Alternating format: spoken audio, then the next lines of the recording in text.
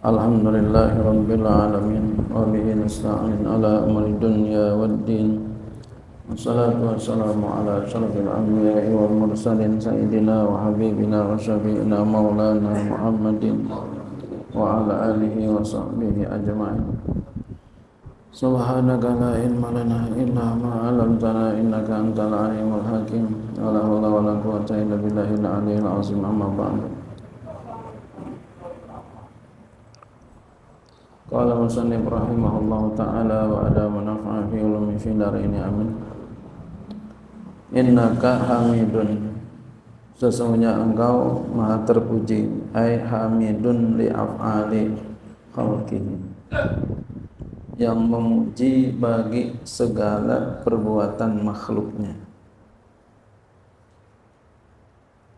Minato'ati daripada segala ketaatan jadi kalau kita pengen dipuji oleh Allah sebagaimana Nabi dipuji oleh Allah wa innaka la'ala khuluqin azim ya tentu pujiannya tidak seperti Allah puji Nabi. Nah, kalau kita pengen dipuji oleh Allah banyak taat sama Allah. Banyak berbuat taat sama Allah taatnya karena Allah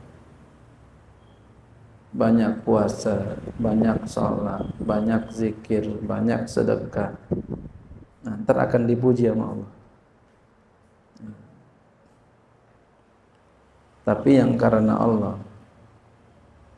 Cara Allah memuji kita bagaimana? Bi isabatihim alaiha dengan memberikan pahala mereka atas taatnya itu. Jadi Allah berikan kita pahala itu memuji Allah kepada kita. Wa hamidun li nafsihi dan yang memuji bagi dirinya sendiri. Jadi Allah memuji dirinya sendiri. Ya. Alhamdulillah itu muji dirinya sendiri Allah. Segala puji bagi Allah. Ya. Itu itu puji kodim bagi kodim namanya. Puji Allah kepada Allah.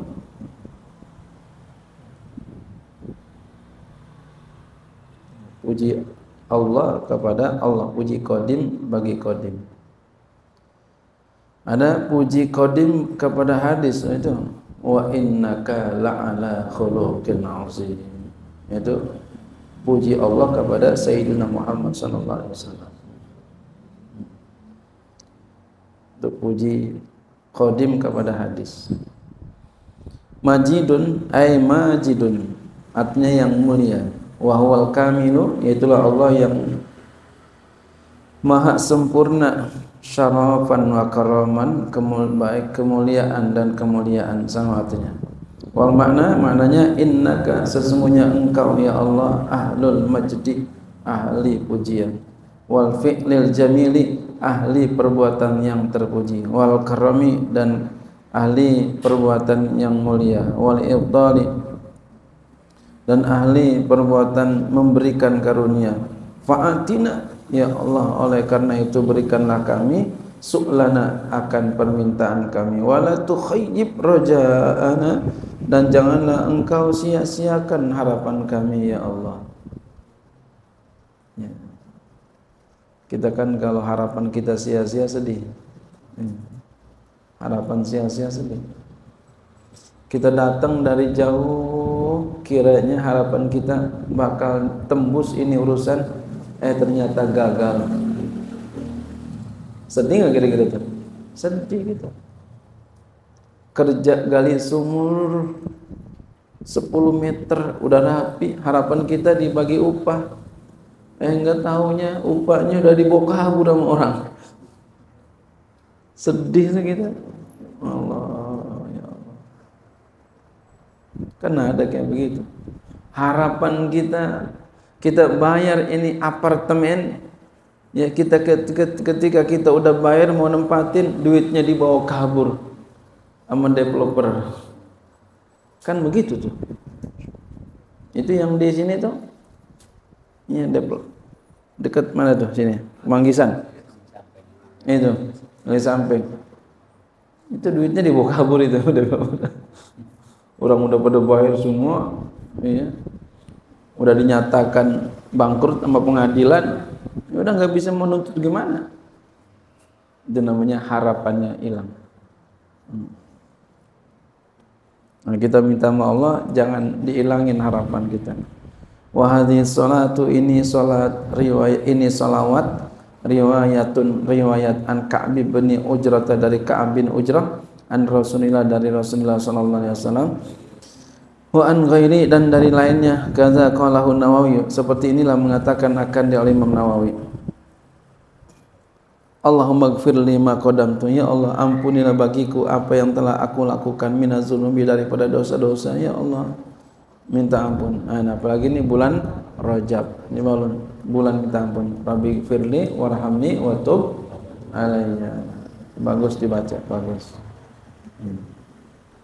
nah, kalau kita lagi ngapain gitu ya baca Rabbi firli warhamni wa tub alayya. Rabbi firli warhamni wa tub alayya. Rabbi firli warhamni wa tub alayya. Sebanyak-banyaknya Rabbi firli warhamni wa tub alayya Rabbi firli warhamni wa tub alayya Rabbi firli warhamni wa tub alayya sambil nonton TV nggak apa-apa nah Rabbi firli warhamni wa tub alayya pegang tasbih aja Pak ya ya jangan pegang HP mulu gitu ya Iya.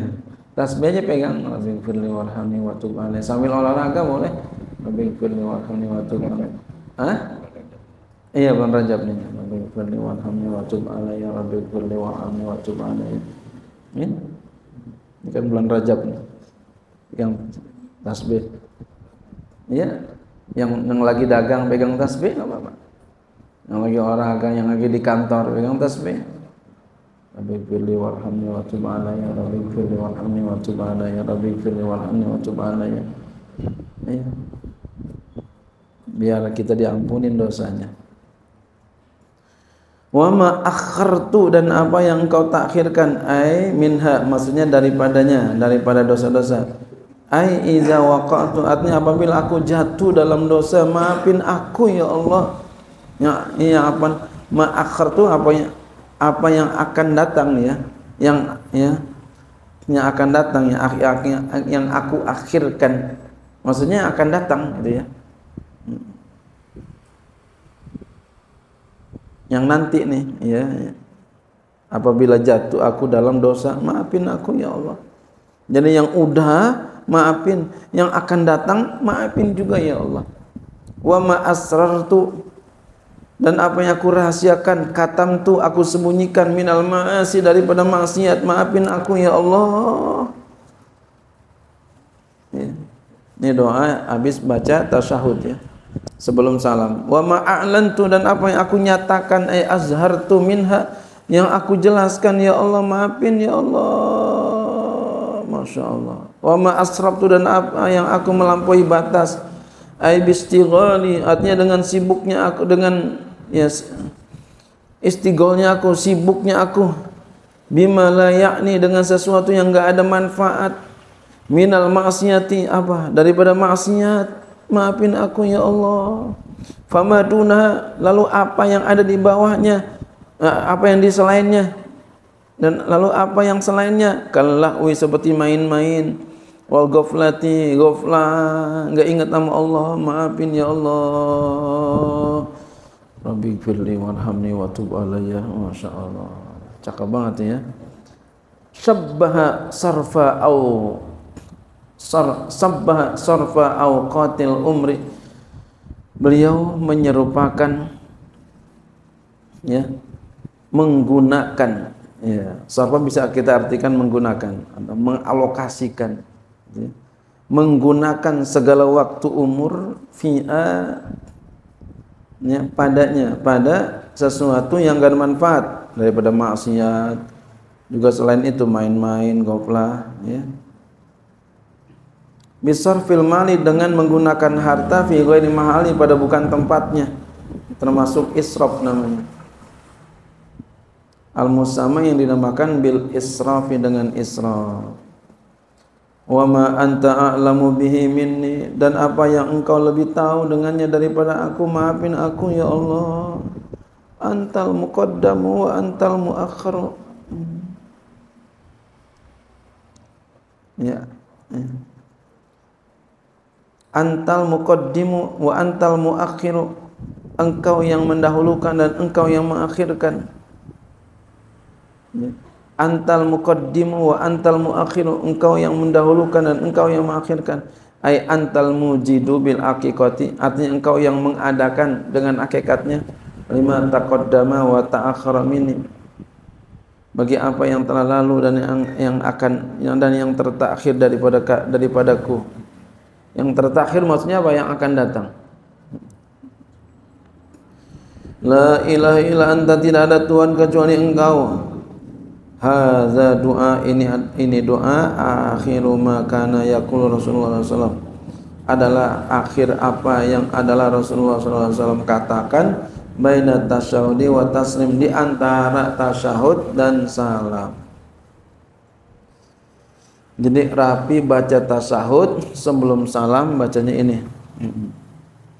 Ala ma rawahu muslimun atas apa yang meriwayatkan akan Imam Muslim an alin dari Sayyidina Ali kama fil azkari sebagaimana terangan dalam kitab Al Azkar.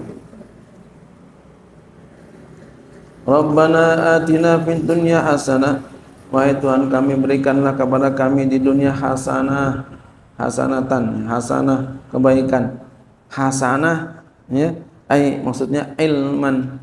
Ilmu hasanah. Di dunia dikasih ilmu. Wa ibadatan dikasih ibadah. Berarti ngamalin ilmu. Au rizkan atau bagi rizki halalan halal. Masya Allah. Jadi orang dikasih hasanah tuh dikasih ilmu dikasih ibadah dikasih dikasih rizki. Ya Allah udah cukup. Hah? hasanah Hmm? Iya, ini bacaan tawab nanti di belakang ada di sini. Hmm. Masya Allah. Orang bilang nih doa sapu jagat. Jadi semua kena. Kita dikasih ilmu lalu ngamalin dikasih rezeki banyak cukup nggak? Cukup ngapain lagi? Nggak usah kerja udah wa fil akhirati hasanatan dan di akhirat hasanah. Eh kalau akhirat jannatan surga, au magfiratan ampunan, wa sawaban dan pahala. Wa qina azaban nar dan lindungi kami ya Allah dari siksa neraka. Eh bi adami dukhuliha maksudnya dengan tidak masuknya ke neraka. Wa an alin radhiyallahu an dari sana Ali radhiyallahu anhu kata beliau hasanah itu apa? Al hasanatu fi dunya iyal mar'atu solihatu.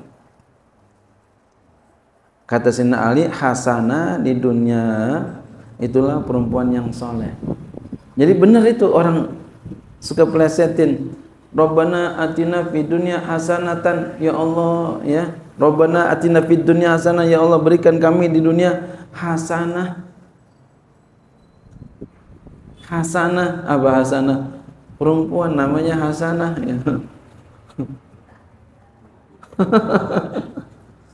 Jadi kalau ngelihat tafsiran Serina Ali benar ini.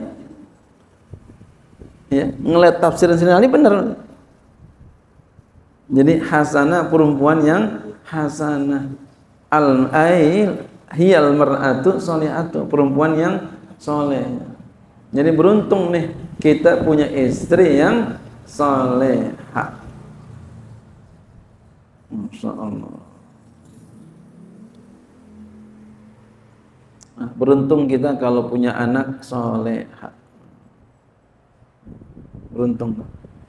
Insya Allah ntar pasangan hidupnya soleh. Kemudian wal hasanatu fil akhirati kata beliau hasanah di akhirat hiyal jannatu dia surga. Hmm awil haura'u atau bidadari. Jadi kalau di surga, ya kalau di akhirat surga atau bidadari. Itu kalau menurut penafsiran Sayyidina Ali, Rabbana atina fid dunya hasanah wa fil akhirati hasanah. Hasanah di situ kata beliau Kalau untuk di dunia al mar'atu salihah. Kalau untuk di akhirat al jannatu atau haura'u. Insyaallah. Ya. Wa azza wa azabun nari, azab neraka iyal mar'atu su. Masyaallah. Azab neraka ya. Wa qina azaban nar kan begitu akhirnya. Itu maksudnya kata beliau, kata Sayyidina Ali, hiyal mar'atu su'u, yaitu perempuan yang su, bini yang su. Nauzubillah, subhanallah. Jadi kalau umpama kita punya bini su di rumah, di rumah ada neraka. Nauzubillah. Ini menurut penafsiran Sayyidina Ali.